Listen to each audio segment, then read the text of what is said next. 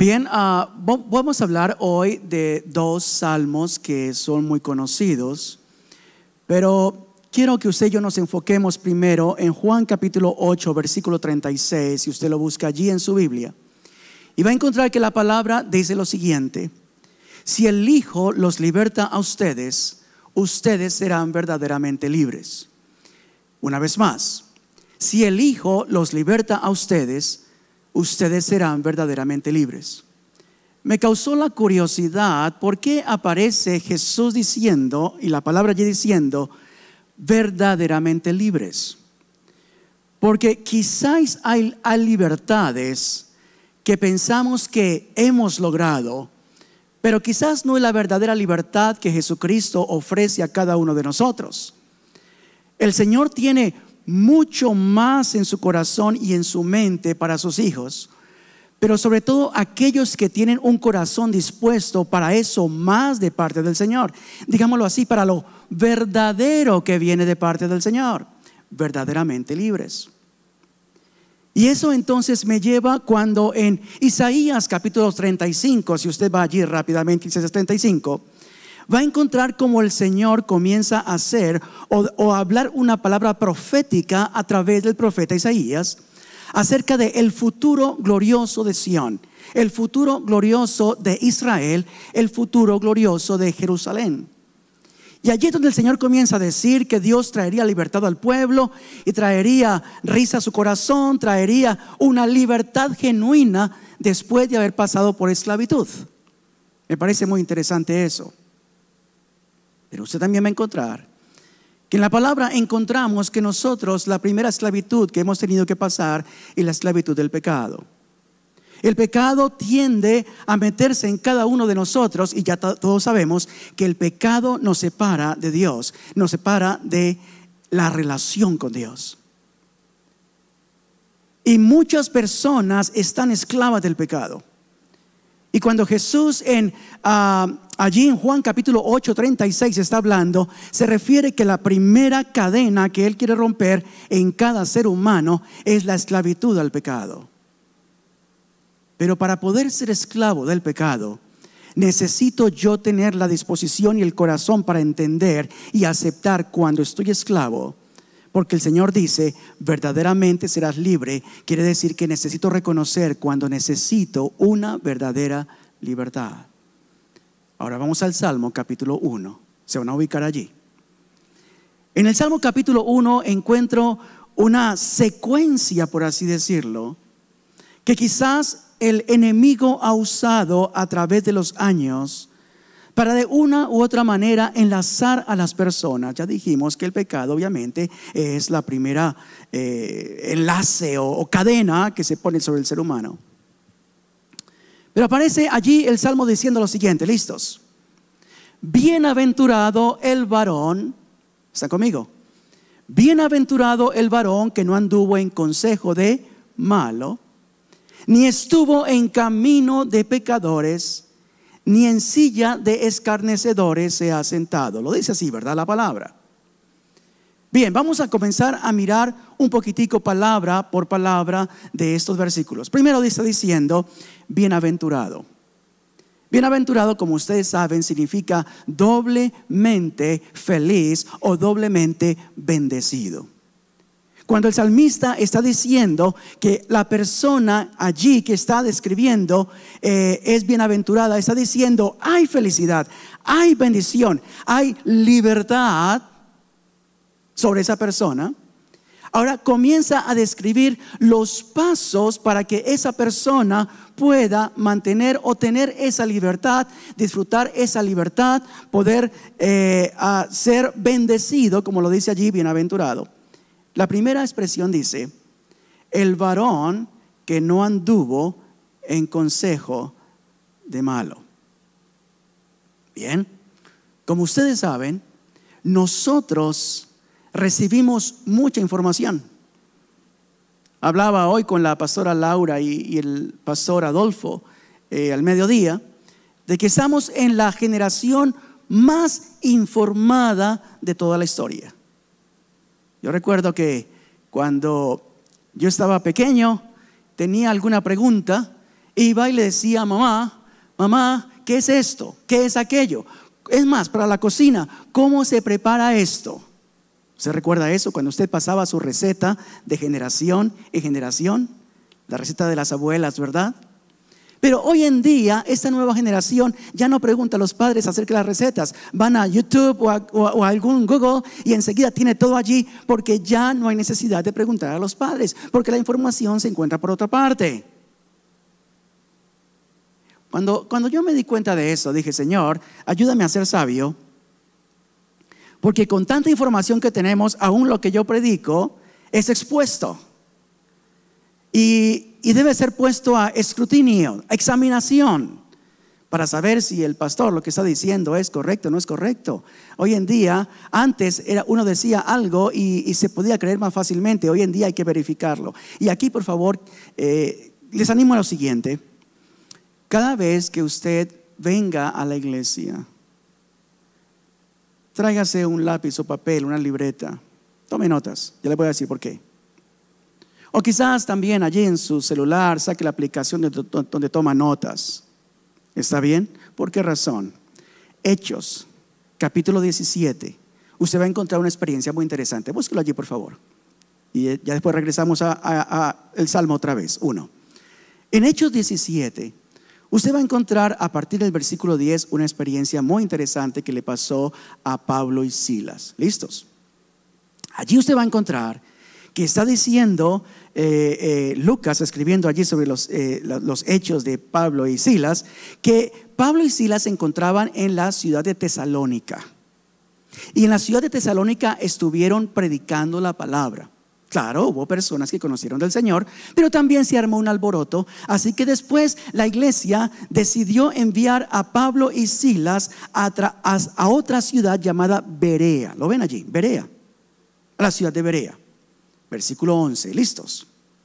Me parece muy interesante en el versículo 11 que dice que los hermanos de Berea recibieron con gozo la palabra enseñada, pero me parece muy interesante la expresión que dice, estos eran más nobles que los hermanos de, la, de, Tesalónica, más nobles.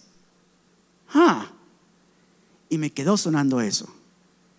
¿Cómo es posible que hayan hermanos que sean más nobles que otros? Si usted mira allí el griego, esa palabra noble, también está diciendo personas con una actitud diferente. Mejor actitud que los hermanos de la iglesia de Tesalónica. La siguiente parte, allí el versículo 11, está diciendo, ¿por qué razón eran más nobles o tenían una mejor actitud? Dice la palabra, porque ellos iban a sus casas y examinaban todo lo que se les había enseñado para verificar de que era cierto, de que era verdad.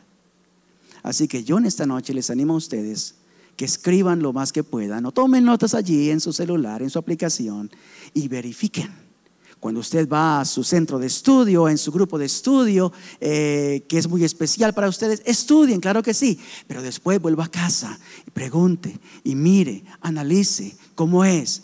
Cuando escuche un mensaje, no solamente aquí en la iglesia, en cualquier lugar, hoy en día tenemos predicaciones por todas partes, ¿sí o no? Verifique. Sea usted un hermano de Berea. ¿Cuántos dicen amén a eso? Debe ser una propuesta en cada cristiano, porque yo quiero ser un cristiano más noble que lo de Tesalónica. Amén, iglesia. Más noble. Bien, entonces, en este caso, ustedes van a verificar, con la ayuda del Señor, entonces estamos en una generación de mucha información, se escuchan muchas cosas. Volviendo al Salmo 1, vamos nuevamente al Salmo 1. Bienaventurado el varón que no anduvo en consejo, no estuvo en consejo de malo. Quiere decir que hay personas que reciben por los sentidos cierta información.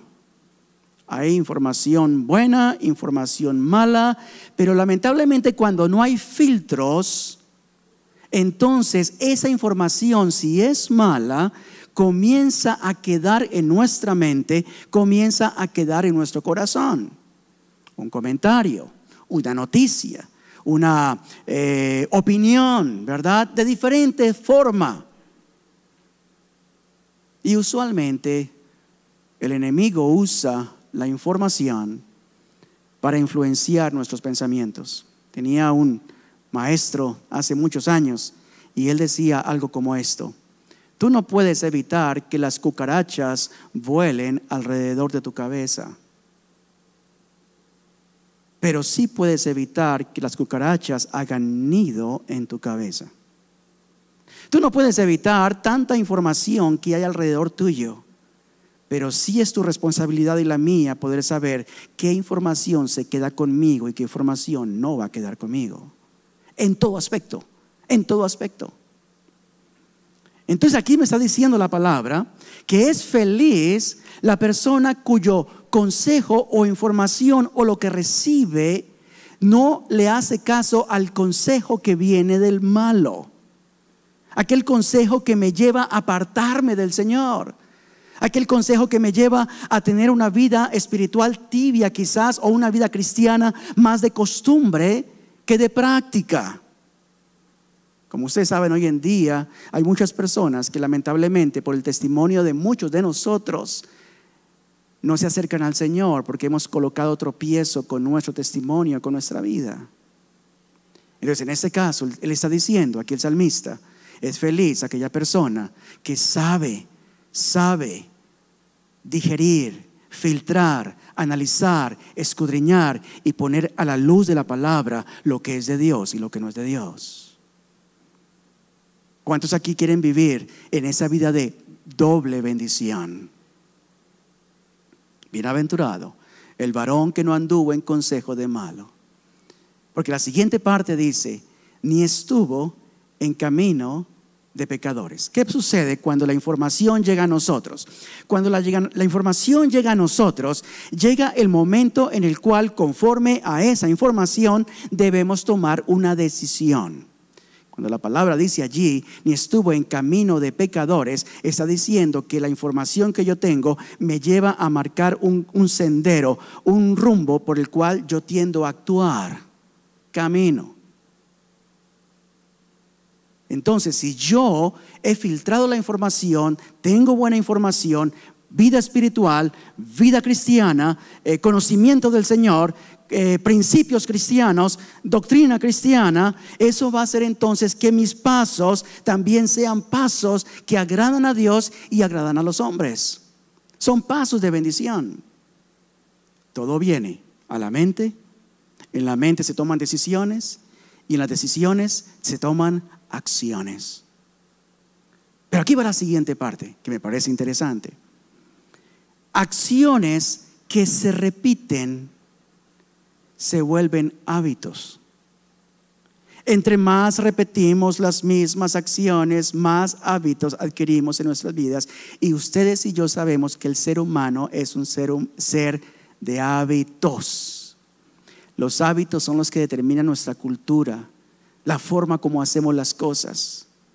Como bien decía mi hermano Omar, en Nueva York tenemos una congregación de, sí, vamos más de 218 eh, naciones diferentes. Taiwán, Irlanda, eh, eh, este, India, ah, de Latinoamérica para abajo, de todas partes, en fin. Y recuerdo que en una ocasión encontré a un par de hermanas de diferente nación que estaban discutiendo quién hace el mejor arroz.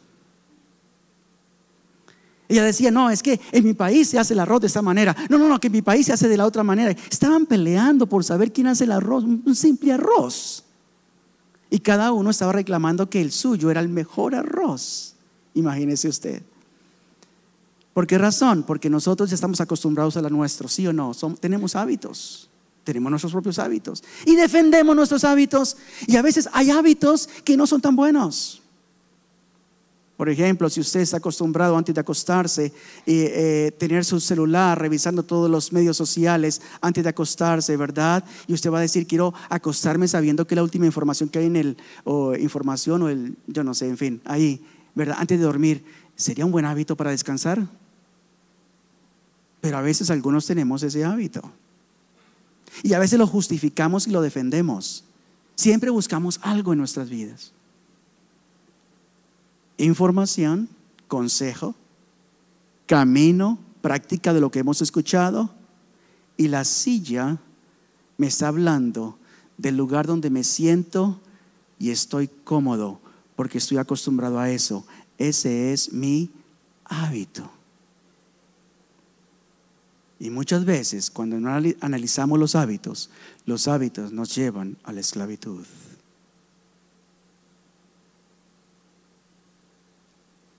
De cómo nos hablamos, de qué tono usamos entre nosotros, las parejas, el esposo, la esposa, de cómo tratamos a nuestros hijos, de cómo tratamos al compañero, compañera del trabajo, de la empresa donde Dios me ha puesto de cómo yo me relaciono con los demás. Son hábitos. Y a veces podemos nosotros tener una cultura, hábitos que son contrarios a los que Dios desea de nosotros. Conoces la verdad y la verdad te hace libre, dice el Señor. Y quizás en esta noche la primera pregunta que yo haría es, Señor, quiero poner delante de ti mi vida para saber qué hábitos yo necesito cambiar. Hábitos que no me están dejando ser verdaderamente libre. Compartía también con los pastores en esta tarde o el mediodía que cuando comencé con mi esposa Dulfay a ser pastores de la iglesia cometí muchos errores, muchos errores. Dentro de los errores que cometí fue que yo pensaba que el pastor tenía que hacerlo todo y que tenía que saberlo todo. Me metí eso en la cabeza tengo que hacerlo todo y, tengo que saberlo todo. Así que cuando alguien venía algún consejo, venía a hablar conmigo, había momentos en los cuales yo no sabía qué decir, pero tenía que decir algo. Porque de alguna manera se me había metido la información, ¿verdad? De que el pastor lo tiene que saber todo y tiene que hacerlo todo. Hasta que el Señor tuvo que romper eso en mi vida y enseñarme lo siguiente, tienes que ser honesto y auténtico tal como tú eres. Recuerdo la primera vez que alguien vino y me, me, presentó su caso y tuve la valentía de decir, ¿sabes qué? No tengo ni idea qué decirte. La verdad no tengo una respuesta. Pero yo te prometo algo. Vamos a estar juntos delante del Señor.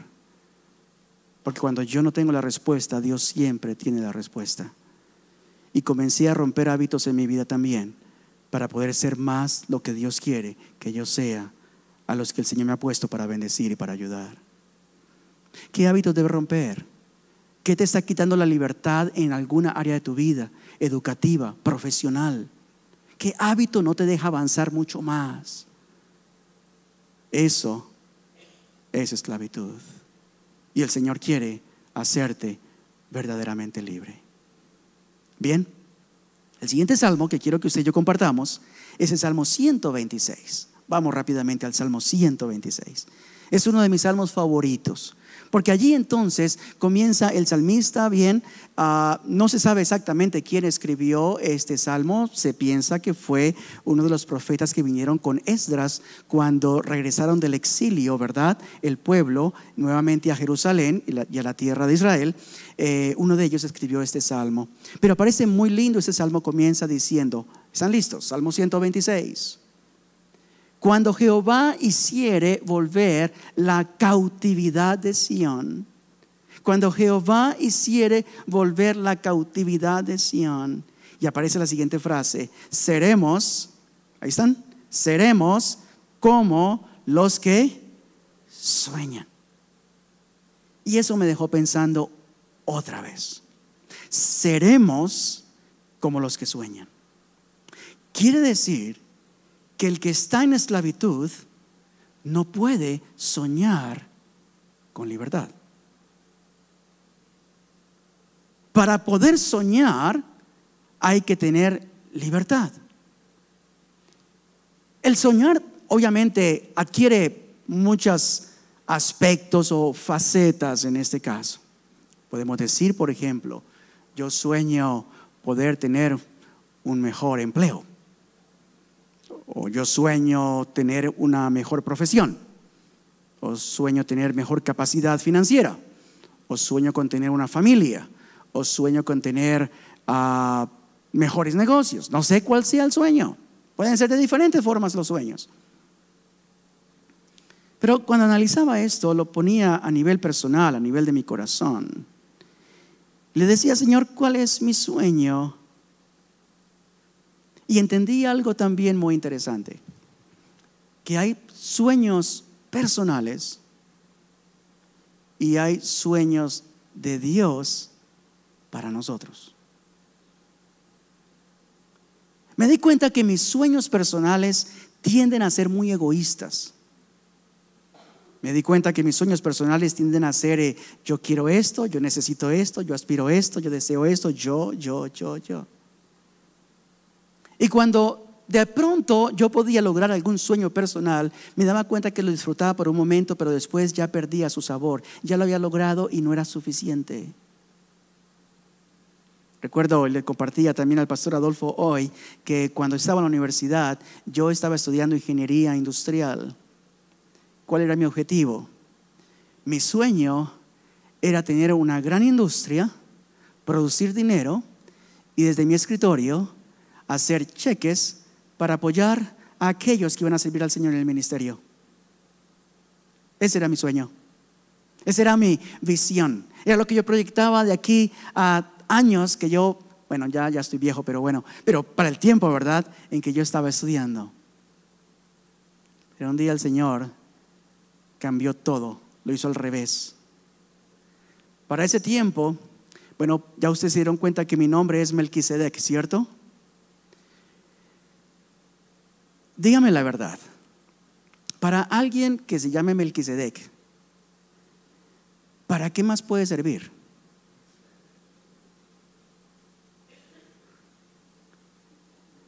Melquisedec era el nombre de un sacerdote en el Antiguo Testamento. Mis padres me marcaron. Les confieso que yo no quería ese nombre. Yo no quería llamarme Melquisedec.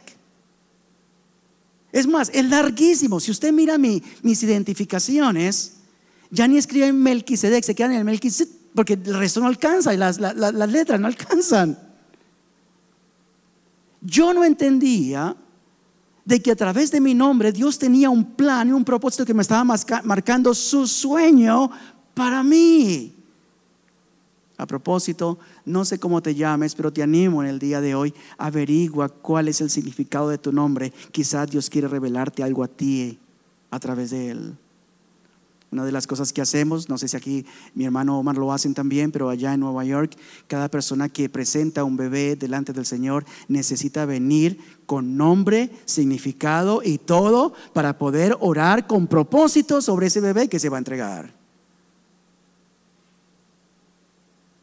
Porque hay sueños entonces que vienen de parte de Dios, van más allá de las intenciones de mi padre y mi madre.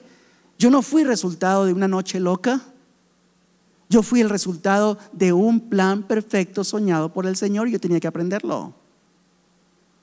Pero para poder entender el sueño de Dios, tuve que entender cómo funciona el sueño de Dios. Dios le reveló, por ejemplo, el sueño de él para al profeta Isaías. Si ustedes recuerdan, capítulo 6, ¿cierto? Está hablando el Señor con el profeta Isaías y le está diciendo lo siguiente. Yo tengo una inquietud, le dice el profeta Isaías, una inquietud. ¿A quién enviaré? ¿quién irá por nosotros? Recuerda que le decía el Señor a Isaías, ¿a quién enviaré? ¿Quién irá por nosotros? Yo me imagino a Isaías mirando para todo lado, Señor, quizás pregúntale a otro, ¿verdad? Enviemos a otro, que vaya a otro. ¿Quién va a representarme? ¿Quién se atreve a ser un buen cristiano? ¿Quién se atreve a hacer luz en casa? ¿Quién se atreve a ser el mejor esposo de Asunción? ¿Quién se atreve a ser el mejor empresario o, trabajador en esta nación? ¿Quién se atreve a representarme a quién voy a enviar? Y después de Isaías luchar con sus sueños, no sé qué planes tenía Isaías, pero llegó un momento en el cual Isaías dijo, Señor, me doy cuenta de algo, que mis planes no son los tuyos. Y me estoy cuenta, me han dado cuenta de algo, que tus planes están más grandes que los míos. Por favor, escríbelo en alguna parte si estás tomando notas. Los planes de Dios que Dios tiene con nosotros son grandes porque servimos a un Dios grande. Pero recuerda lo siguiente, los planes de Dios no comienzan conmigo. Los planes de Dios comienzan con la necesidad de otro que Él quiere suplir a través mío.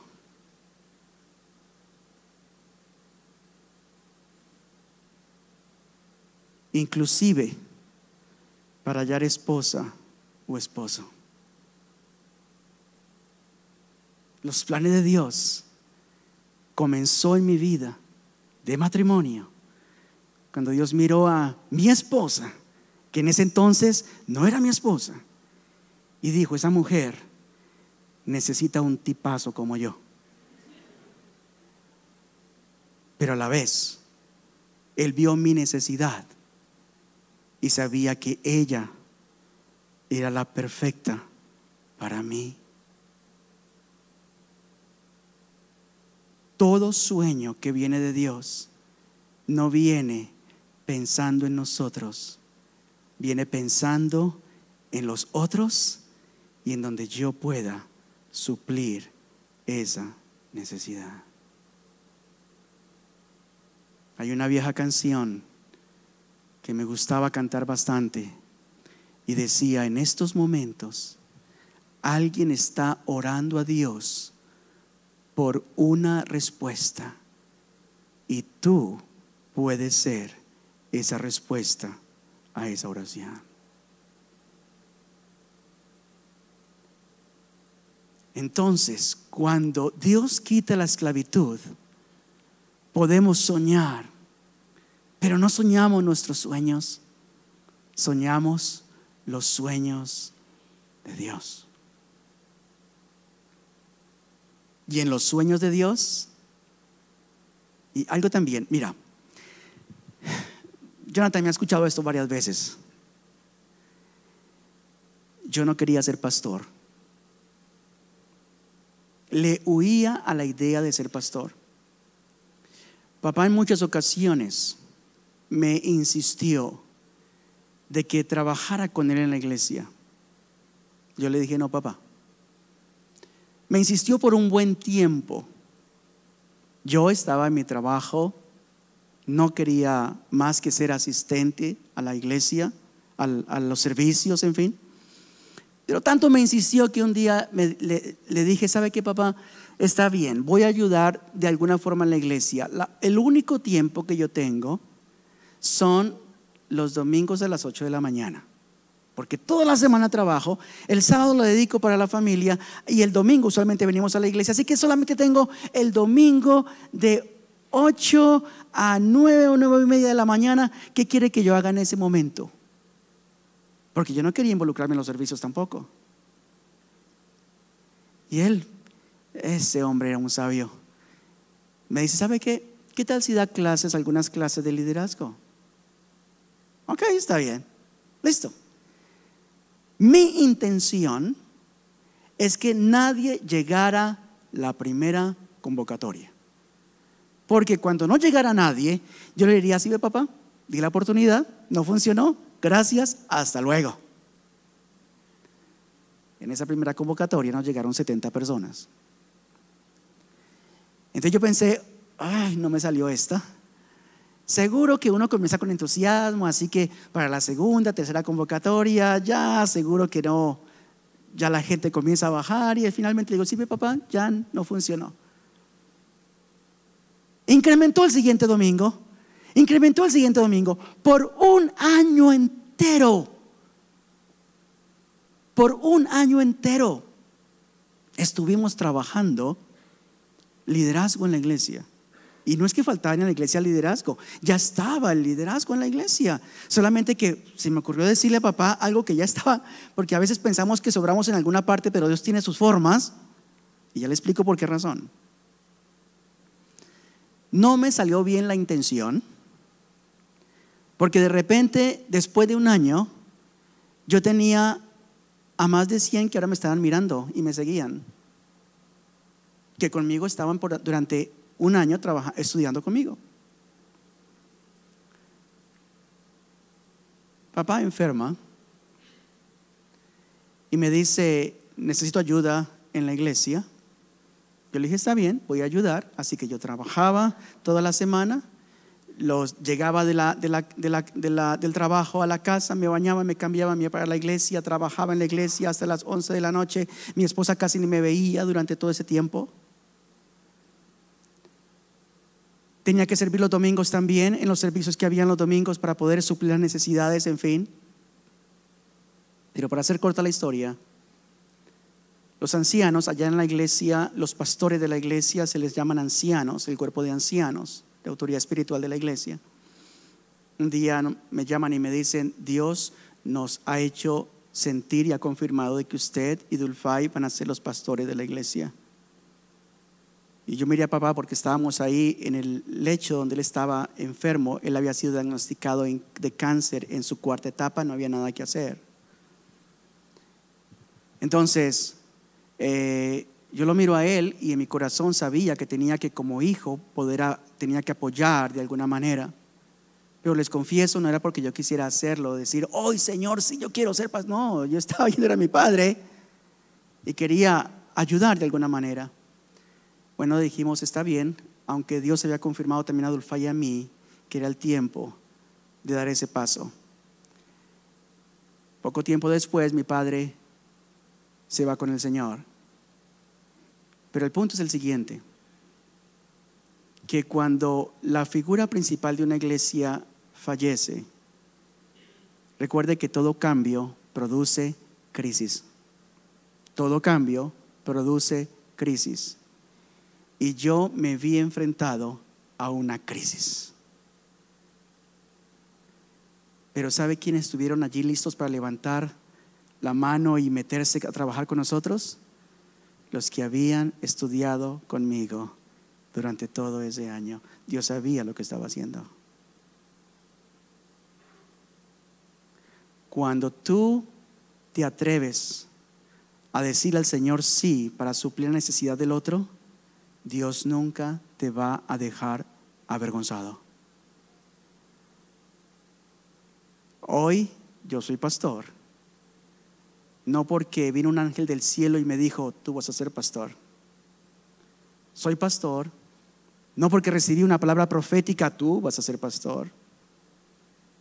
Hoy soy pastor, no porque hicieron un llamado al altar y allí en la convicción, Señor, entrego mi vida para servirte toda mi vida, no.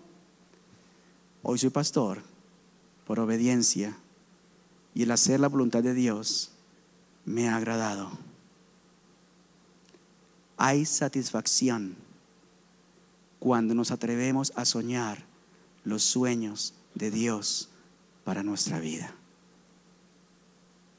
Una vez más, hay satisfacción cuando nos atrevemos a soñar los sueños de Dios para nuestras vidas.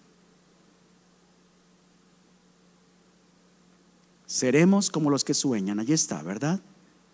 Salmo, 126. Dice, nuestra boca se llenará de risa. Me encanta eso. El que es libre no tiene que simular la, la, felicidad, la satisfacción, la plenitud, la llenura. Proverbio dice que el corazón alegre hermosea el rostro. Yo les digo a los hermanos allí en Nueva York, no vuelvan al cirujano plástico. Vengan al Señor. Si quieren tener un rostro hermoso, vengan al Señor. Dejen que Él sea el que transforme esas emociones. Dejen que Él transforme los pensamientos. Todo aquí es ese ser interior. Déjenlo porque el corazón alegre hermosea el rostro. Dilo conmigo. El corazón alegre hermosea el rostro. Cuando alguien es libre, su rostro lo manifiesta, lo refleja, lo transmite, lo contagia. La alegría, el gozo. Y mira lo interesante. Si nosotros, dice, nuestra boca se llenará de risa, quiere decir que el gozo del Señor es nuestra fuerza. Y entre más aquí disfrutamos esa llenura y plenitud de parte del Señor, más fuertes somos.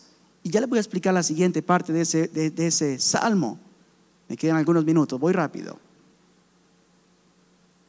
Nuestra boca se llenará de risa, así que yo le invito, amado hermano, amada hermana, que usted y yo vengamos delante del Señor y le preguntemos, ¿qué me está impidiendo reír? ¿Qué me está impidiendo llegar a tu casa con alegría, con gozo? ¿Qué me está impidiendo disfrutar la alabanza y la adoración en plenitud y en libertad? ¿Qué me está impidiendo? Porque tú me dices que el que es libre está feliz. ¿Qué me está impidiendo abrazar a mi hermano, a mi hermana? ¿Quién me está impidiendo poder acercarme a la otra persona con confianza? ¿Qué me está impidiendo que yo pueda disfrutar este momento de mi vida sabiendo de que Dios está conmigo?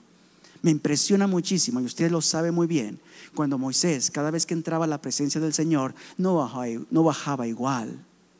Se reflejaba ¿dónde? En su rostro ¿Por qué razón? Porque había un efecto aquí en su vida, en su corazón, y se reflejaba en su aspecto exterior. La siguiente parte del Salmo dice, nuestra boca se llenará de risa, y después dice, ¿y nuestra lengua de qué? De alabanza. Lo siguiente que le quiero decir es lo siguiente, todo aquel que es libre, verdaderamente libre, no cesa de adorar al Señor. No solamente aquí, en cualquier lugar donde estemos, no cesamos de adorar, de alabar, de exaltar su nombre, de expresar nuestro corazón delante de Él. No, no, no, no, esperamos el momento para poder entrar en su presencia, derramarnos delante de Él y crecer mucho más en intimidad con Él.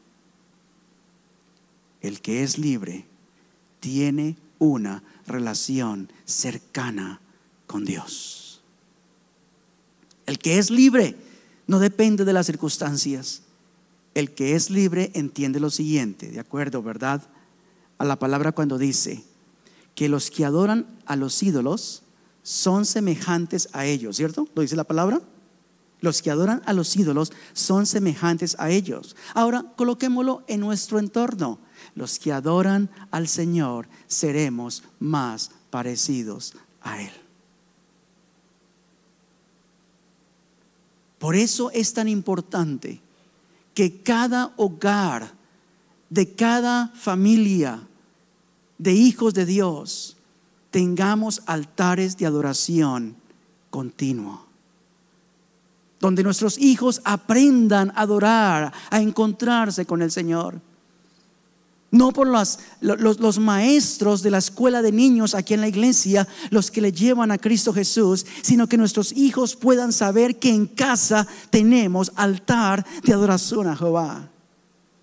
En donde podemos buscarle allí en libertad. Escúchame bien. Las nuevas generaciones están creciendo en nuestras iglesias sin tener un encuentro personal con Cristo Jesús. ¿Por qué razón? Porque nosotros en casa no los estamos llevando a ese verdadero encuentro con el Señor. Tus hijos y mis hijos tienen que enfrentar la vida y afuera hay cosas feas. Afuera hay maldad, hay dificultades. Pero lo que les va a ayudar a ellos es que donde quiera que estén, van con su amigo Jesús y con la protección del Espíritu Santo y con el amor del Padre en cada uno de ellos. ¿Eres libre? Sueña, pero sueña los sueños de Dios. ¿Eres libre? Ríe, pero ríe conforme a la gracia y libertad que el Espíritu ha dado a tu alma, a tu corazón, un corazón sano y libre. ¿Eres libre? Adora, porque el que adora se parece más al Padre Celestial. Y le llevo a los últimos versículos. El versículo 4 dice lo siguiente, que las naciones van a ver esto, los demás van a ver esto y que van a decir, grandes cosas ha hecho Jehová en medio de ellos. Me gusta muchísimo eso. ¿Saben por qué razón? Porque escúcheme bien, donde quiera que estemos, alguien nos ve. Donde quiera que estemos. Allá en Nueva York teníamos un programa radial y eh, ese programa se transmitía en una estación no cristiana se transmitió por varios años, eh, como 15 años se transmitió ese programa. Y estábamos con Dulfay, con mi esposa, fuimos a lejos, como quizás a una hora de la ciudad, estábamos lejos, y ya veníamos de camino a casa, y de pronto ella me dice, tengo ganas de arroz chino. Y yo le dije, está bien. Entonces entramos a un pueblo y yo le dije a ella que me esperara en el carro, yo entré al restaurante y estoy en el mostrador y le digo a la persona, eh, por favor, eh, quiero este, eh, una porción de arroz chino este y este así. Cuando estoy en eso, hay también de este lado, del lado izquierdo del mostrador, hay una mujer, tan pronto yo comencé a hablar, hace así, me miró. Y yo sentía aquí la mirada de este lado y me sentía un poco extraño porque sabía que me estaba mirando. Yo seguía hablando con la persona que me estaba atendiendo y la mujer no me quitaba la vista. Y después me dice, se atreve y me dice, usted, usted no es el pastor Quintero. Y yo le digo, sí. ¿Usted es el que habla en la radio? Sí. Pues yo lo escucho a usted desde hace varios años y siempre había pensado, Señor, si algún día yo pudiera conocerle. Pero el punto es el siguiente. En ese momento vino en mí lo, lo siguiente. ¿Qué tal si esta mujer me hubiese identificado yo en una situación de no buen testimonio? ¿Qué hubiese pasado en ese momento? ¿Qué hubiese pasado con todas las predicaciones en la radio que había escuchado de parte mía? ¿Qué hubiese pasado si, si en ese momento yo estuviera haciendo algo indebido? Toda la, ah, el ánimo y la fe que ya tenía de saber de que hay hombres y mujeres que sirven al Señor, ¿cómo hubiese quedado en ese momento? Y eso me hace reflexionar cada vez que tengo que salir. Señor, donde quiera que vaya, no sé si me conocen o no me conocen, pero yo sé que alguien está mirando lo que Dios o está haciendo en mi vida o lo que ha hecho, o quizás hasta ahora me conozca. Donde quiera que estás, alguien te ve. Ahí está diciendo, entonces dirán las naciones, grandes cosas ha hecho Jehová entre ustedes. Y yo quiero que cuando alguien escuche mi testimonio, o cuando alguien me escuche predicar, no puedan tener estorbo, sino que al contrario pueda recibir la palabra tal como es. ¿Están conmigo, iglesia? Y la última parte, versículos 5 y 6, dice lo siguiente. Hará, van a llevar los que siembran, van a ir con lágrimas sembrando. ¿Sí lo dice allí? Va a ir con lágrimas sembrando pero también van a regresar con alegría recogiendo la cosecha. Y aquí va lo siguiente, escúcheme bien. Estamos en una generación donde queremos las cosas más fáciles. Estamos en una generación donde no queremos pagar el precio. Estamos en una generación, y, yo bromeo con alguno de nuestros líderes allá, ¿verdad? Que Conseguir voluntarios no es fácil, o conseguir hombres y mujeres para servir al Señor no es fácil, porque lo primero que preguntan es, ¿y cuánto voy a ganar? ¿Cuánto voy a recibir? Porque ahora queremos tener todo seguro. Antes teníamos la fe un poco más atrevida. Hoy en día nuestra fe está más limitada. ¿Por qué razón? Por las circunstancias. Pero el punto es el siguiente. David, cuando iba a comprar la viña para levantar a Jehová altar, le dijeron, te la regalamos rey. Y David responde lo siguiente, no le voy a dar a Dios nada que no me cueste.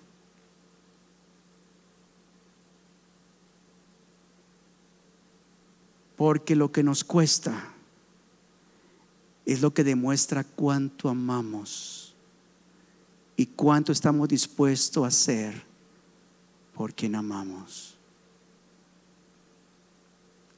hay cosechas que solamente se pueden conseguir con lágrimas. Me gustó la oración de mi hermano Omar cuando decía, no nos cansemos de orar por nuestros hijos que no están aquí o que no se han apartado del Señor. No nos cansemos.